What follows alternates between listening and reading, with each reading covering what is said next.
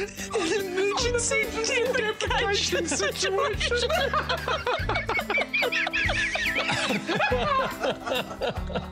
New Zealand journalist Hilary Barry, not to be confused with actress Halle Berry, cracks up hysterically while reading a serious news story live on air.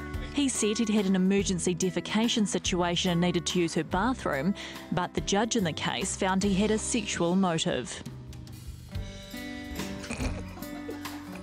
An emergency deprecation situation. Yeah, just as you I'm having one myself.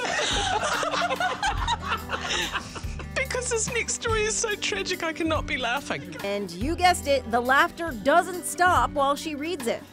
Right. Investigators believe a bomb caused the explosion on a plane which has just taken off from the Somali capital of Mogadishu. The blast blew a hole in the side of the plane, and one of the 74 passengers on board was sucked out. Just terrible.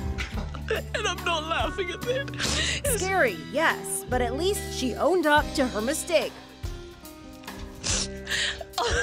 Today could be the day I lose my job.